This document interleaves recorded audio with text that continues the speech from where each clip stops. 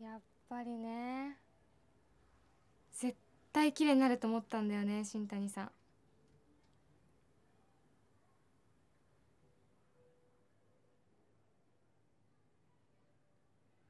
ね。え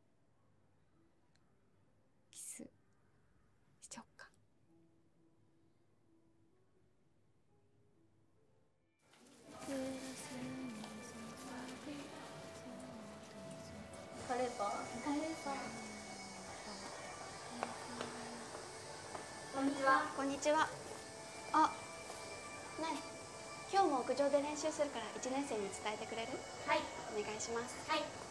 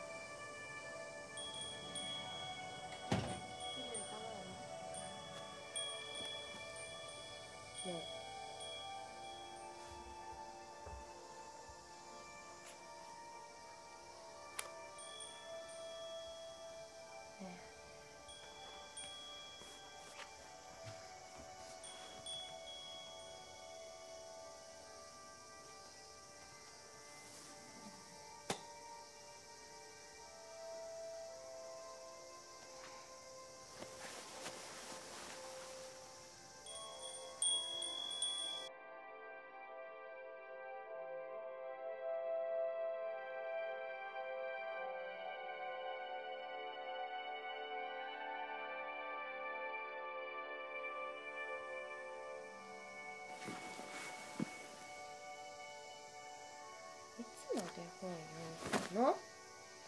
ねえ。何これ。字ちっさか字しかないじゃん。何が面白いの？一緒だって。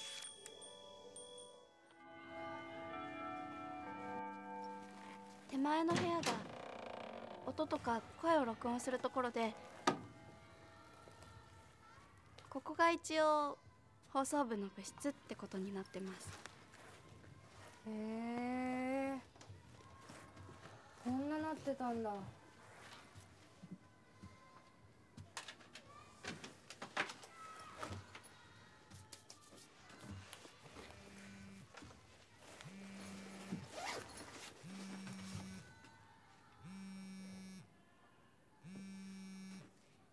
いいですよ出てもあいいの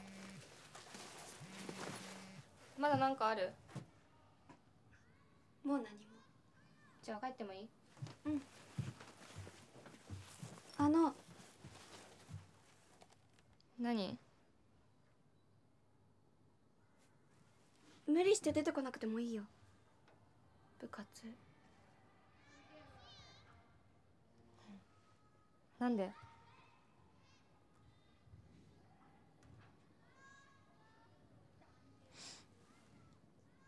あいいや。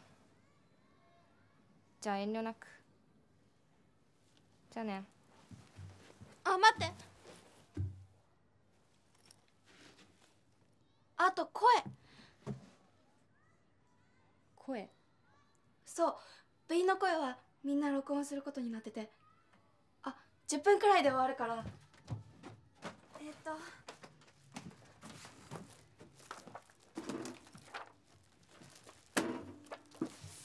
なの読んでもらえれば。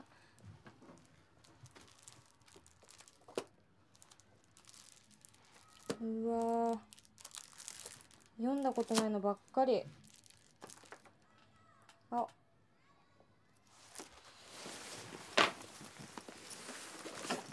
じゃあこれは？好きなんですか？太宰治。うん。それが初めて借り物で途中まで読んでるからさ。じゃあこれで。確かずっと独り言みたいなやつですよね。だいぶ前に読んだことあった気が。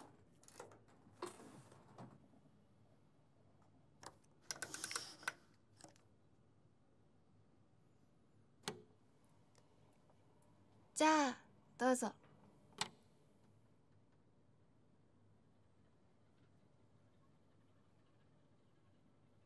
朝目を覚ます時の気持ちは面白い。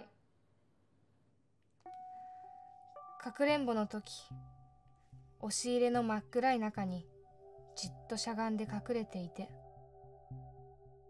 突然デコちゃんにガラッと襖を開けられ日の光がどっときてデコちゃんに見つけた。と大声で言われて眩しさ。それから変な間の悪さ。それから胸がドキドキして。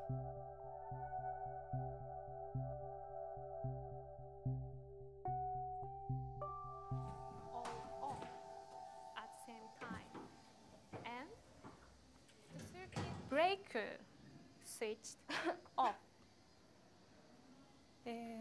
ということでこの答えは4番の with です。みんな分かったかな？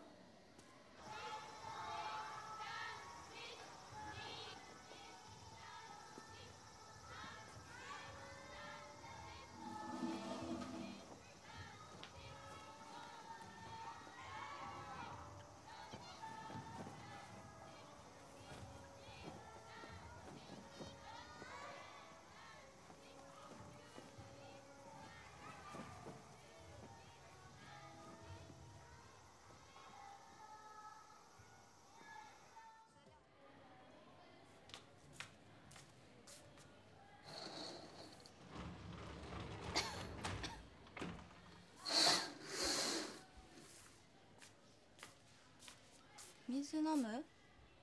大丈夫です。そう。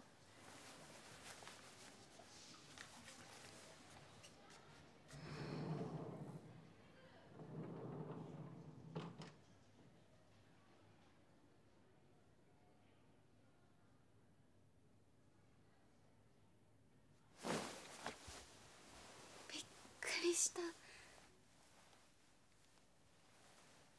風？邪うん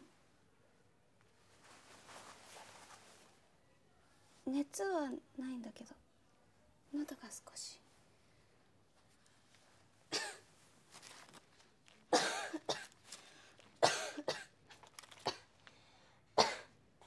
結構効くよ。私風邪ひくといつもこれありがとう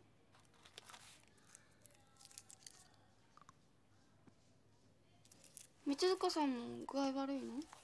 ううん。私は寝に来ただけ。次物理だし。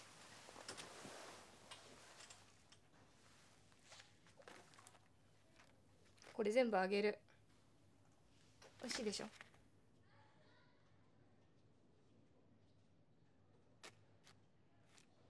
ありがとう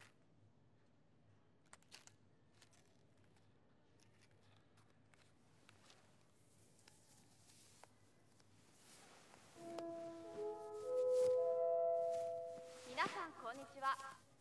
7月13日水曜日お昼の放送の時間です。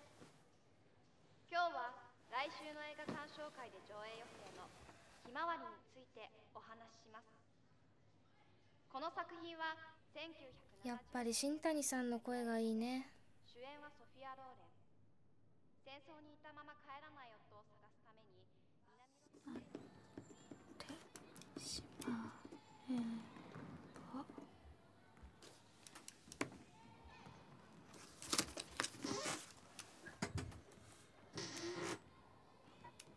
ば私たちの苦しさは私たちの苦しさわびしさは何でもなく追憶できるようになるのかもしれないのだけれどけれどもその大人になるまでの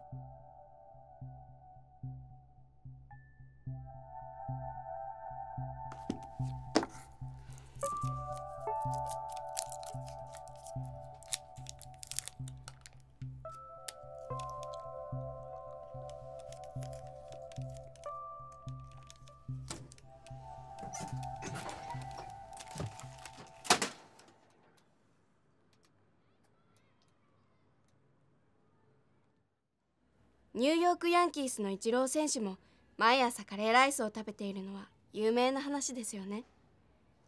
まさにカレーは受験を控えた3年生にとっては欠かせない食べ物と言えるかもしれません。私も今日のお昼は早速購買にカレーパンを買いに行こうと思っています。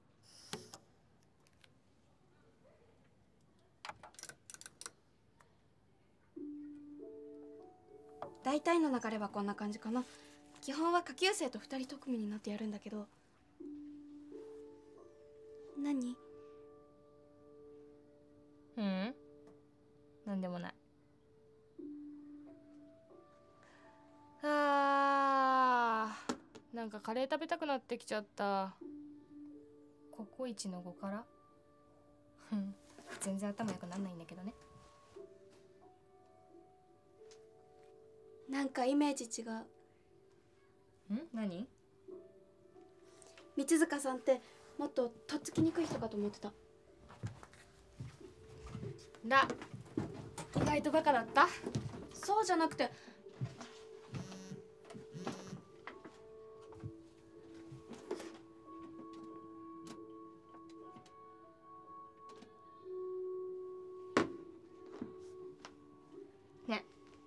買いに行こう。私カレーパン食べる。うん。あ待って。次の CD セットしていくから。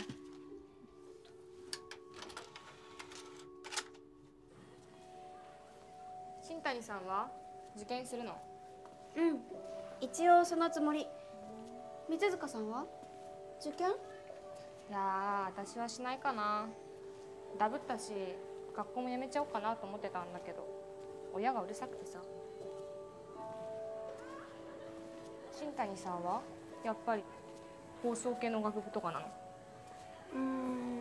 お姉ちゃんがそうだから私は辞めるかへえお姉ちゃんいるんだ。なうん。お姉ちゃんが放送部だったから私も放送部に入ったんだけどいちいち比べられるし後悔してる。じゃあ喧嘩とかもすんの？すっごいするよ。お姉ちゃんケチでね。すっごいすぐに怒るの。私がちょっとお菓子食べただけですぐに怒るし。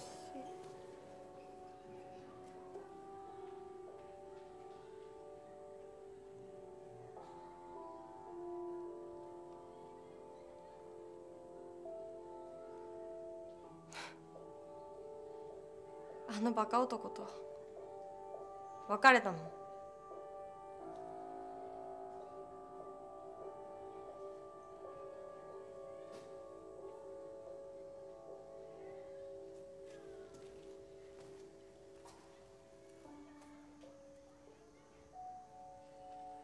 子は違うから。行こう。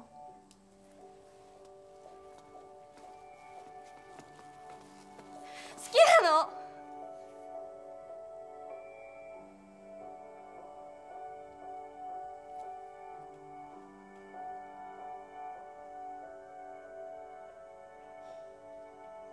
ごめん。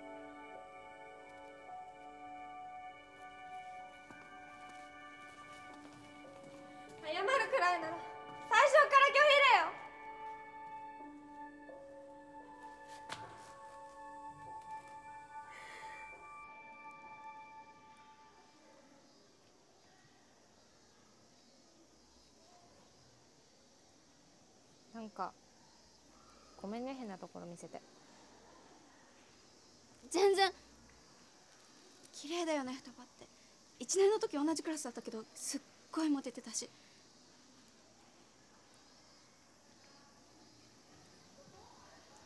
いい人だよね新谷さんって。気使ってくれたんでしょ？私に。部活来なくてもいいよってあれは忙しそうだったから。そう見せてるだけだよ。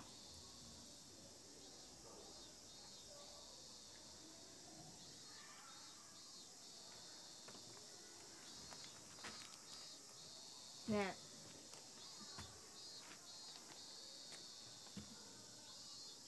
ちょっと顔いじってもいい？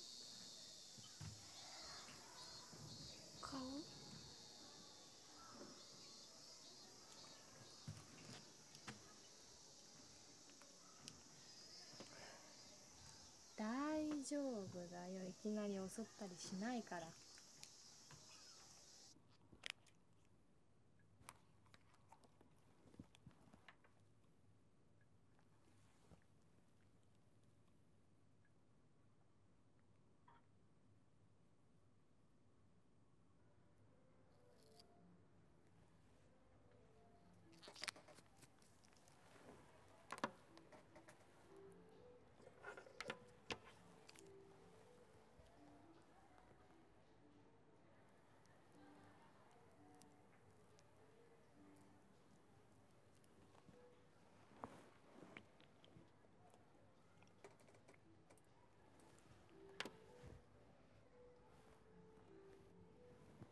ちょっと来て。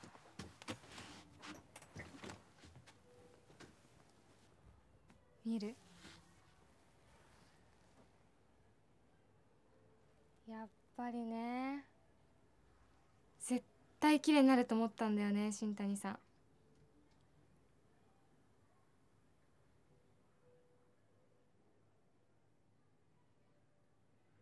ねえキスしちゃおっか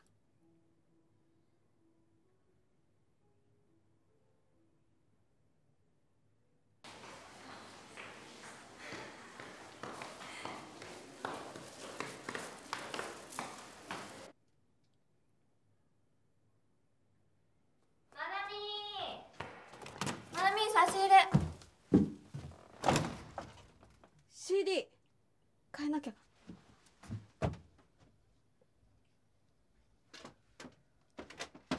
鈴鹿さんもいたんだ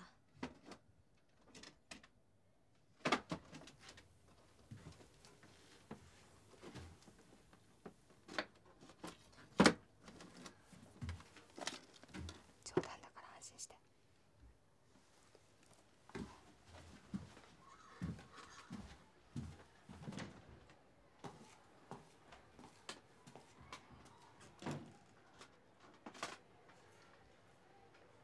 マナミーはいパンそこ置いといて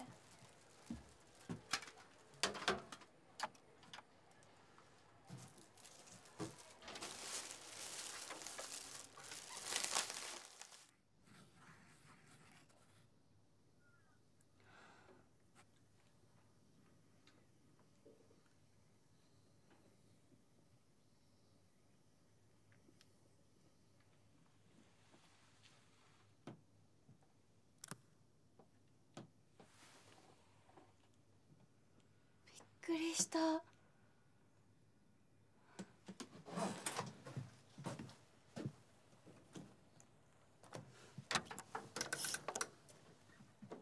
まだ残ってたの？聞こえない。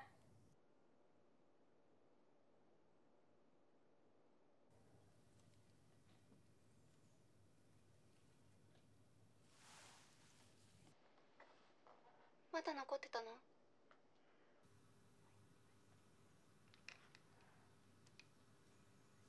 今日暇？今日ってこの後？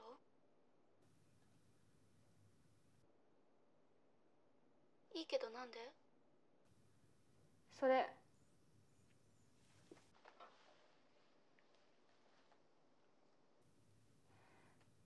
返しに行くの付き合って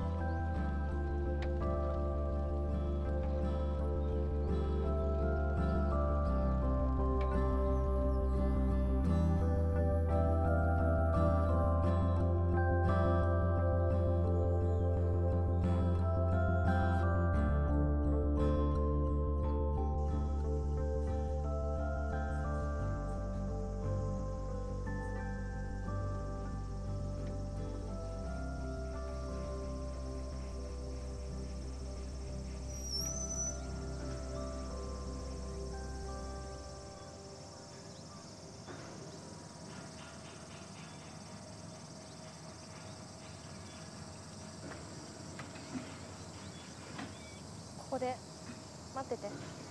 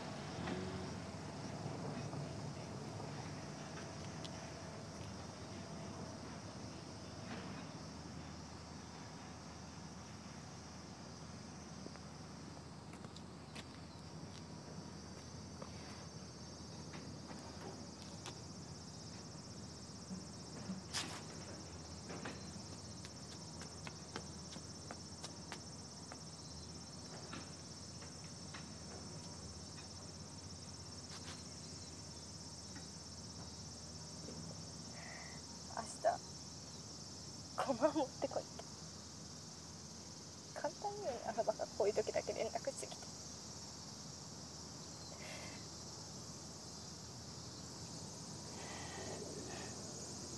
ごめんね。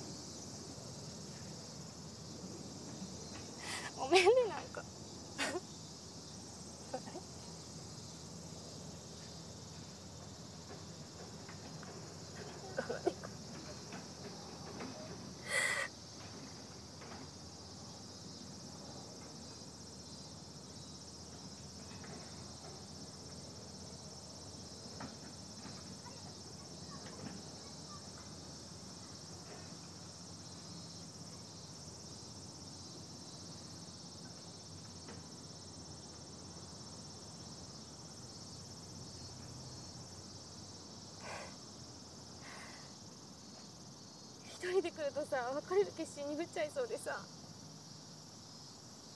てかもう別れたはずなんだけどね。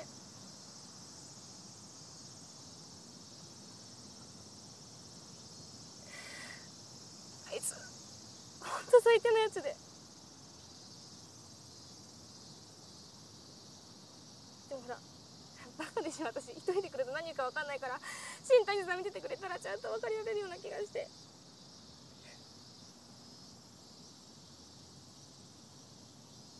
友達の前ではちゃんとしなくちゃいけないじゃん。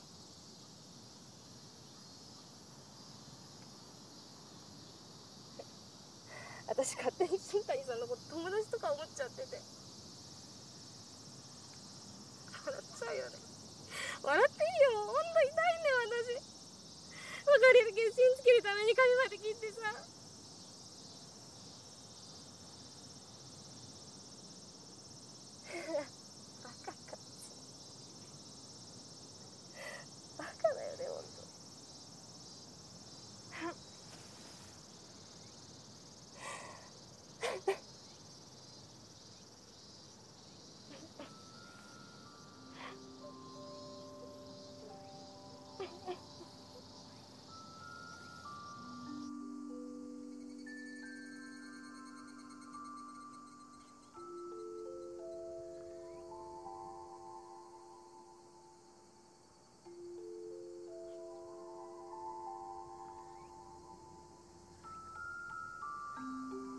三塚さん。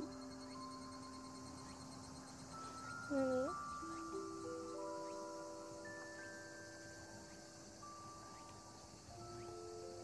あのね。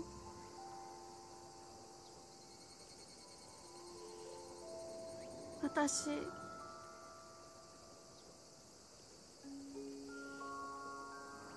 私さ。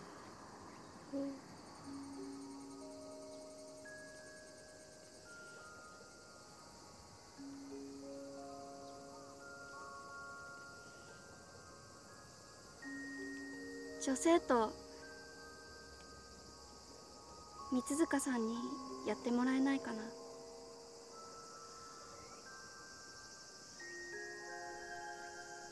私の中であの女性とはずっと三塚さんだったから。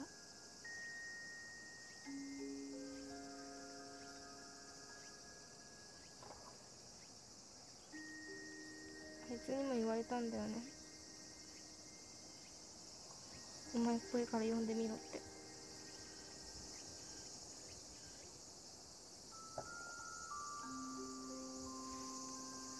分かっ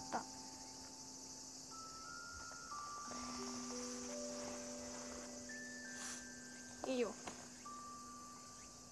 私やってみる。その代わりもう三塚さんって呼ぶのやめてよ。中期でいい。私もまなみって呼ぶから。ね。うん。